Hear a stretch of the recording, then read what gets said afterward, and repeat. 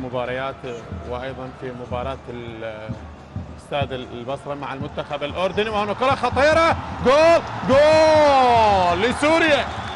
هدف للمنتخب الأولمبي السوري. برافو لسوريا. برافو لمؤمن. يسجل أول أهداف المباراة وأيضا جماهير جانب الجماهير السورية الحاضرة.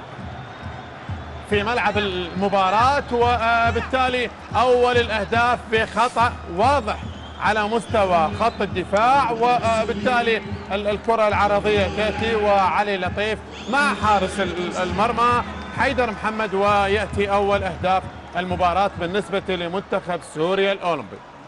حلوة لمؤمن ناجي يسجل أول أهداف المباراة.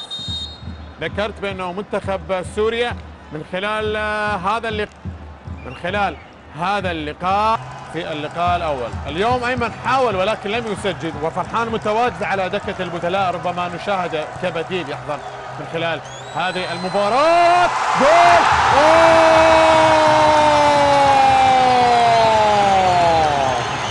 أيمن حسين يظهر الآن. في الدقيقة 43 يظهر للمرة الثانية في استاد كربلاء الدولي. جول لمنتخبنا الأولمبي. جول لأيمن.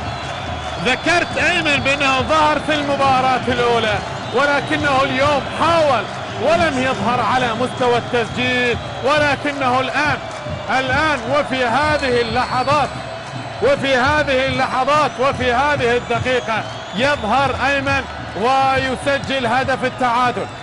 هدف التعادل برافو لأيمن. حلوة لأيمن وبالتالي أيمن يضع الكرة وصعبة صعبة على يزن السيد.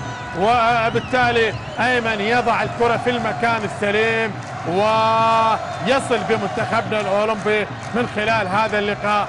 وقبل نهاية الشوط الأول وهذا هو طبعا الشيء الجيد وبالتالي تخرج من الشوط الأول متعادلا وإن كانت المباراة ودية. ولكن يعني